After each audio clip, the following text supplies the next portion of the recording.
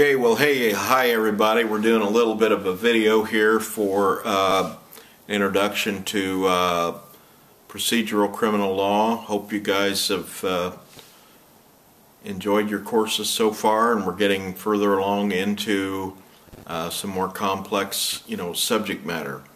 So, uh, what we're looking at here is U.S. Uh, criminal procedure and some basic kind of things that I'm sure that many of you have heard before somewhere, at least if you've had me in class before. Uh, the big, uh, you know, important thing here is that cr criminal procedure um, can be broken down into at least five different uh, basic uh, parts. One of it has to do with public places, which if we think in the context of uh, travel, roadways, public streets, um, stores, uh, shopping malls, uh, you know, the gas station, different places like that. So anywhere where you might find that the public, you know, congregate, there are going to be certain crimes and certain procedures that are going to pertain to those places.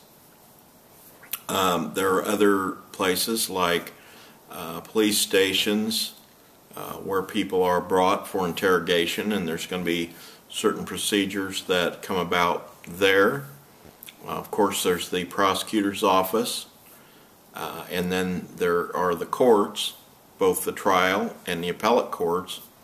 And of course another thing that I think will be big in our discussion at some point, it's not mentioned necessarily by the author, is uh, private places like your home uh, and you know uh, what are your rights there in terms of uh, your home? Your home, uh, do you have the right in your home, for example, uh, to be totally safe in your home from even uh, government intrusion, uh, either by wiretapping or the police knocking your door down or, or any of those type things. So we're going to be looking at at least five different areas and what the certain procedures are that are going to pertain to those areas. One of the things we need to understand is that we have always the job of balancing. It's a balancing act at all times. It involves balancing values in uh, criminal procedure. These could be uh, safety, freedom, as a, as a balance that I've put in some of my other video lectures, that there is a need to balance uh, safety versus freedom. Another way of putting that is community security versus individual autonomy. Uh, another thing is, is ends versus means. Let us take a graphic, uh, poor uh, example in our uh, recent history. Uh, Nixon wanted to find out if his opponent had certain information about him, and he had a certain kind of an imperial or monarchical view of himself as that he had the right to this information.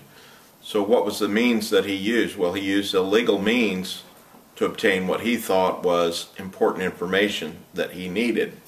So, uh, you know, uh, should police be like Nixon? Should they be allowed to violate the law, for example, for some greater good, like safety? Uh, should they be able to violate an innocent person's rights uh, just in order to maintain safety. So these are the kind of things that we're going to be struggling with as we go uh, through this class. And so ends is the search for the actual truth and means is the issue of the rights of the people. Can we violate those rights in order to get to the facts that we need, the evidence that we need?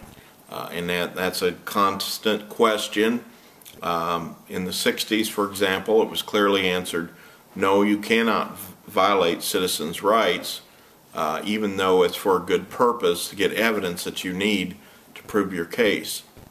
In the more recent past, there's been a more relaxed, kind of a good faith argument. Well, he's doing this for a good reason, so the ends justify the means. So the need for evidence justifies violating people's rights. Well, I'm one of those people that doesn't believe that. I'll just put that out front. Uh, and I know there's a lot of other people like that. And it's funny because people with these views can come from both sides of the aisle. That is to say, liberals and conservatives can hold to that view. So um, all these things are important to consider, uh, and so we just have to decide, uh, you know, how much safety can we afford in exchange for the loss of our freedom. This is especially true right now when we look at this whole terrorism situation, domestic terrorism, foreign terrorism, you know, that people can come in. You know, should the uh, police, the Homeland Security, be able to listen in on our phone conversations? This is a big deal right now. Should they be able to have access to all of our phone records? You know, and so these are the kind of things that uh, we'll be talking about and, and we'll be wrestling with in this class. Um, so basically, this is historically this goes back a long way. For a long time in this country, no one really, I think, made the clear connection between the Bill of Rights and our Constitution uh, and the rights of the people and the right to be secure against uh, search and seizure by, by the police. I think when this started to be a major issue was around uh, 1959, 1960. It's called the Earl Warren years in the Supreme Court, also known as the Due Process Revolution.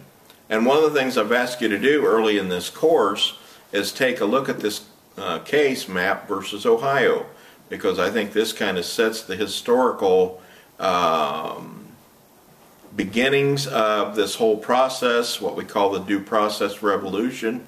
Uh, and so I think it's a, probably an appropriate place to start. Now we'll probably go back further than that at some point because there's a couple other cases like U.S.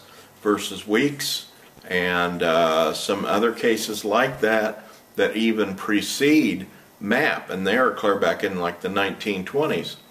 Uh, and so these are important uh, things that we'll be looking at. Well, I want you to understand that you can always contact me if you have questions or problems, uh, and I will um, be there for you. My uh, private email is robdawalt at me.com. That's Rob, R-O-B, Dawalt, D-A-W-A-L-T, at me.com. Feel free to contact me. Uh, sometimes we'll have the opportunity to use a whiteboard to try to explain this a little better. We'll also probably be including some PowerPoints and we'll try to um, consider all these topics together as we go along. Look for these videos on a regular basis uh, and um, I'll try to explain these different parts, these different chapters and specific items within the chapters as we go along. I hope this course is enjoyable for you. I hope it's a really good learning experience. And, you know, I always want you to understand that I'm just uh, as far away as an email or a phone call. So feel free to contact me. My phone number's in the syllabus. Uh, I've got a couple different emails you can contact me. So uh, you can message me through the course. Uh, just, just stay in touch and let me know if you have any questions or problems. Thanks for watching.